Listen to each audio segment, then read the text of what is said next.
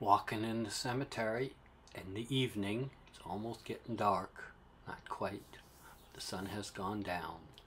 And the yearling coyote is wandering around. So um, you get a minute and a half of yearling coyote um, mostly on the move.